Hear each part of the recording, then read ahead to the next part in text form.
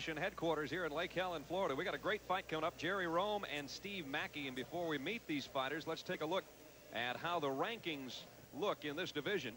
Jerry Rhome is the man on top. Of course, Jerry is the world heavyweight champion by virtue of his win over Brad Hefton in Atlanta, Battle of Atlanta. Daryl Hannigan, uh, number one contender from uh, Montreal, James Waring, Don Nielsen, Jeff Hollins, Blake Gabriel, also from Canada, in at number five. Frank Lobman, Tommy Mouton, Steve, Steve Sheffield, Dino Humsey, Jeff Mott from Rockford, Illinois, from the hometown of Brad Hefton, rounds it out. But the man that owns the top spot in the division is over in the blue corner with the red pants. That's Jerry Rhome. We're going to meet him right now. We go to our ring announcer, Larry Black. Ladies and gentlemen, on behalf of the Nautilus Sports Medical Industry, Jim Abernathy Sports, we welcome you to a seven-round heavyweight bout featuring the World Heavyweight Champion. Introducing first, in the red corner, from Kansas City, Missouri, he is 33 years old, stands 6 foot 1 inches tall, weighing in at 191 pounds. His American kickboxing record is 21 wins, 8 losses, 2 draws, with 10 of his wins by knockout. Welcome, please, Steve Mackey.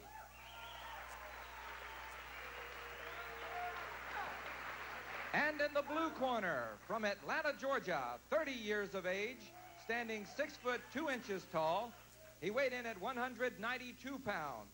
With a record of 35 wins, 2 losses, 28 of his wins coming by the knockout, he is the world heavyweight champion. A big round of applause for Jerry Rhome.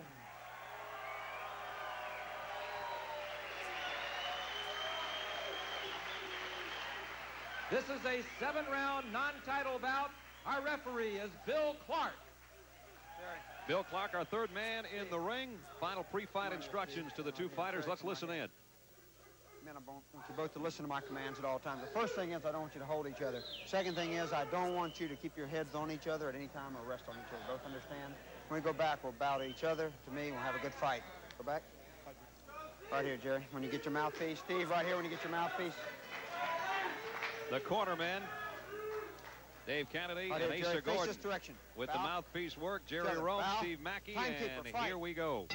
There's the bell, round one. Steve Mackey on your left, Jerry Rhome in the red pants, the champion. And he loads up with a big right hand to get round one underway.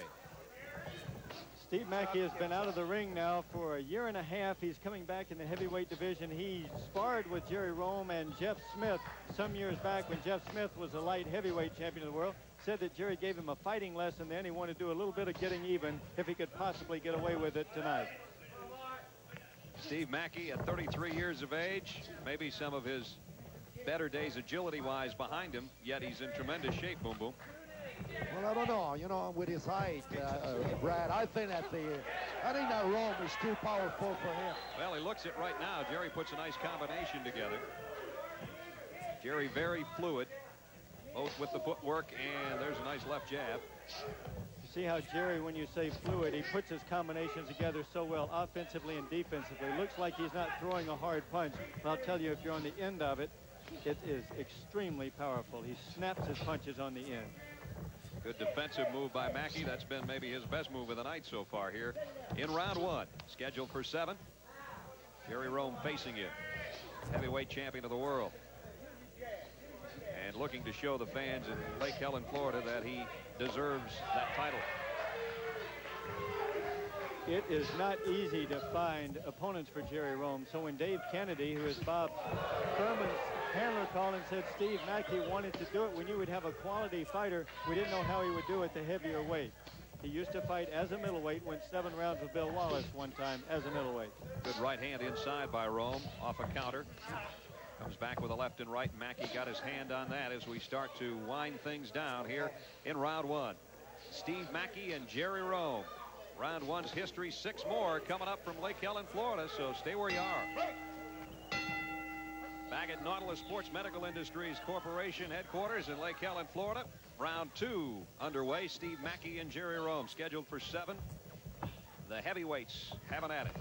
Brad Nessler, Boom Boom Geoffrion, and Joe Corley with you. Nice to have you along wherever you might be watching tonight. You know, Brad, I think that uh, Jerry got a little surprised there when uh, Steve just turned around very quickly and give him uh, a pretty good one right on the face. Steve frustrated with himself as he threw that left round kick and came up about six inches shy with it.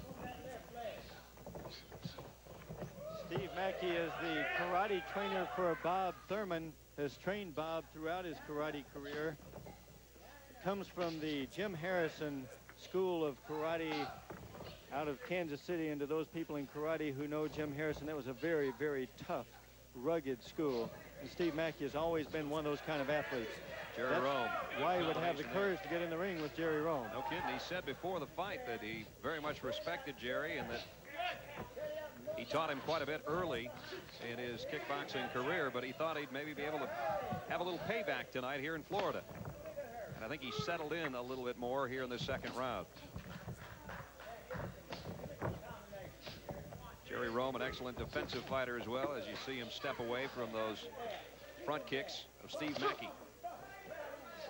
Rhome with a nice right hand. Mackey a little bit staggered by that one, and he'll now circle the ring and try to get away from that right hand, but he didn't. He got him pretty good there, about two or three good one there. I honestly believe that, you know, he's going to cool it a little bit, Steve, because he's cut, and he's going for the knockout right now. But As we come to a close of round two.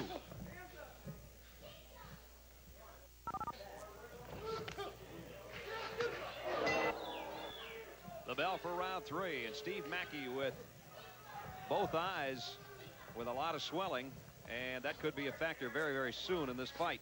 Jerry Rhome connected and did so often in round two. And Mackey's cornerman really had to go to work on both the right and left eyes. The right eye is the worst of the two right now. Nice right hand in by Mackey.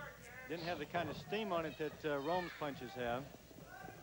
Steve Mackey almost a dead ringer for Phil Simms, the New York Giant quarterback. But I think he'd probably rather be sacked by Lawrence Taylor than get in there with Jerry Rhome right now. well, you know, Jerry Rhome, he, he hits so hard, and he waits for his chances. He's not a wild hitter like some of the other guys that we see. This guy waits for his chances. Doesn't waste any punches, does he? That's right. There's the sweep move with the right foot and then try to counter with the left round kick. Jerry's got an excellent jab as well. You don't get to be champion by not having all the tools, and he's proven that over the course of his career. Of course, we've talked about it a number of times. His detached retina, he's come back after a six-year layoff. Perhaps the only fighter in any sport to have done that after a six-year layoff, come back, spent two years, paid his dues, and won the world heavyweight title. And he won it with a tremendous right hand right on the button of Brad Hefton in April back in Atlanta. And he's used that right hand effectively here against Steve Mackey tonight. Mackey had uh, maybe a minute in round two where he didn't look confused and then Rhome connected and the eyes started to swell on him and now he's showing that same sort of bewilderment we've seen in the better portion of three rounds. For whatever reason, Rhome is not looking as sharp in this round with his combinations as he looked in round one and two. Jerry got a nice round kick into the chest of Steve Mackey as round three comes to a close here in Lake Helen, Florida. They traded shots on there and then Asa Gordon, his handler. And Ace has got a smile on his face. I think he feels like his fighter has looked good to this point. But as you said, Joe, that combination both fighters had there at the end may have woken Jerry Rhome up a little bit. They're taking another close look at the cut over there on the eye of Steve Mackey. Jerry Rhome, of course, uh, no problems yet. Now there's another cut open. This one above the eye. Remember, the first one was below the eye. That cut above the right eye could really be a troublemaker. The athletic skill here, jumping 360 degree roundhouse kick off the back leg. Mackey picked the left arm up to block, tried to block with the right elbow. The kick made it in between. Rhome using the front leg heel kick very effectively. Used it well with his left leg in the earlier rounds. Now with his right leg in the third round. Well, Joe, they're having real trouble with that eye right now. Yeah. appears in the corner. Dave Kennedy's done a good job, but I honestly believe, Brad, that uh, it's going to last. I doubt it very much. His eyes already closed. He's cut below and above. we start round four, and Bill Clark keeping a very, very close eye on the eye of Steve Mackey. Bill I- Clark, one of the best referees in the business, so he'll know if indeed a time does come to stop this. I expect Mackey will try to give it his all, try to finish Rhome if he can with a powerful shot. But when you try to do that, you good right hand in by Mackey. When you do that, often you give it away. Spinning back fist connects too by Mackey. So he's put together some good offensive moves here in the fourth round. But his right eye is going to become a problem for him. And I just can't see him surviving this fight with that eye almost closed now. And you see the blood coming down the side of the nose. There's the heel kick again by Rhome, and that one connected.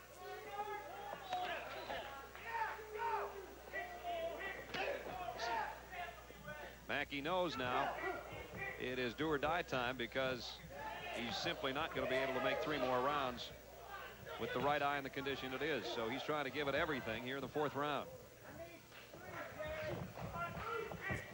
Remember the problem that the cut causes is if the, if the blood goes in your eye, it gives you a vision problem. Otherwise, it's aesthet aesthetically not good looking, but no real danger.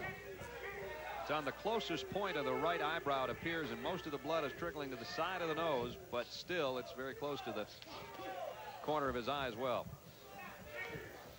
Uh, game Steve Mackey out of Kansas City, Missouri, and the champion from Atlanta, Jerry Rhome, putting the pressure on, and there's a nice right hand at the end of that combination. Well, you know yourself where Jerry is going to go now, and he's going to go for the eye. There's no question about it, the finisher. Jerry may be the kind of fighter, boom, boom, that won't do that. Final seconds of round four.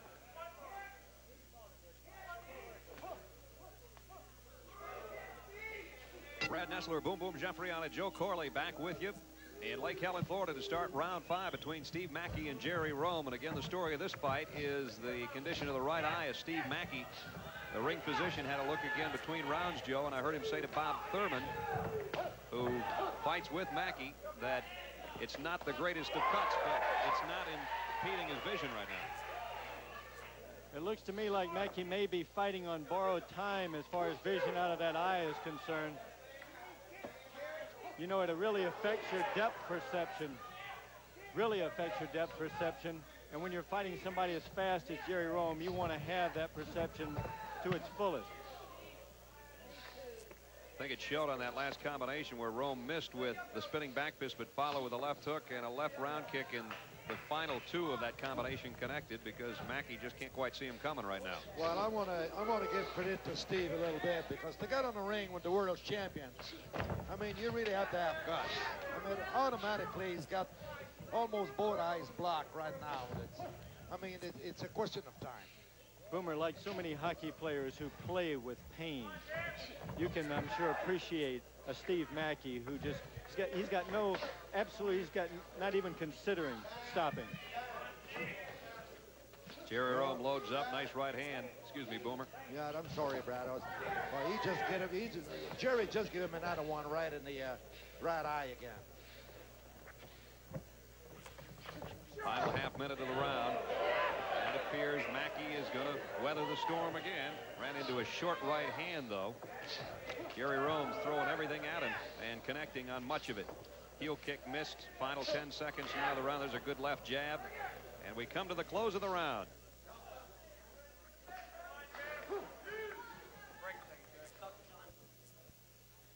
Well, at the very moment that the bell sounded to end the round, the referee, Bill Clark, and the ring physician had another look at the eye of Steve Mackey and have decided that he cannot continue. The cut's too bad in his right eye, and so Jerry Rhome is going to win this one. And again, the champion did some severe damage to the right eye there of Steve Mackey. And Steve's disappointed. He wanted to continue. Physically felt he was ready to go on.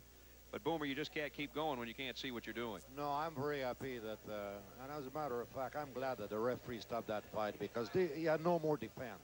Let's get the official announcement on this decision and go to our ring announcer, Larry Black. Larry?